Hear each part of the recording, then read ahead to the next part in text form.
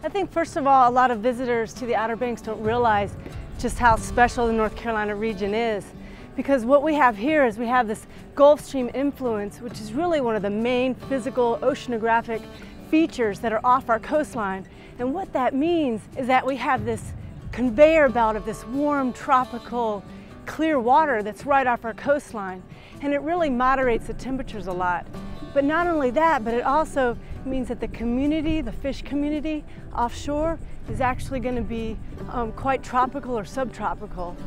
What's interesting about this region and what I think makes it so dynamic is that we are at the transition zone between tropical and temperate waters. So some, so Cape Hatteras is the limit, it's a zoogeographic limit, so naturally speaking, you're going to get this convergence of tropical and temperate species.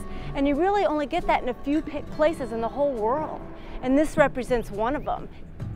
If you go out in the, in the waters off Hatteras, there's a few areas of, of, of hard bottom uh, limestone outcroppings uh, with some corals and things on them, but most of it's just sand. You really don't see a lot. It's like a desert. And then you hit a shipwreck, and all of a sudden it's like this oasis of life. And you've got big sharks and little sharks and grouper and corals and sponges, and the whole thing is just a, a, a palette of color. The number and the size and the diversity of fishes is really unparalleled.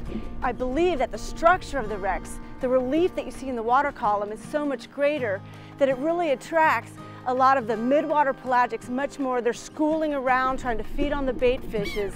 And then you get all the benthic dwelling fishes as well, like the typical coral reef species that are just going to be staying on the bottom, oriented to the structure itself.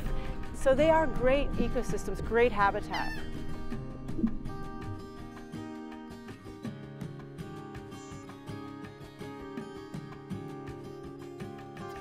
Hatteras Island is known widely for its diverse bird population and Pea Island National Wildlife Refuge is just especially known as a birder's paradise.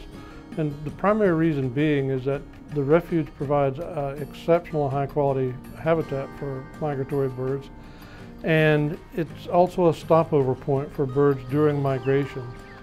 The primary birds you find at Pea Island are shorebirds and waterfowl. Pea Island National Wildlife Refuge may be known as a birder's paradise, but there's a lot of other wildlife on the refuge uh, in addition to birds. We have three freshwater ponds where our wintering waterfowl uh, can be found. And in those ponds we have marine life, we have freshwater life including uh, freshwater turtles, uh, river otters.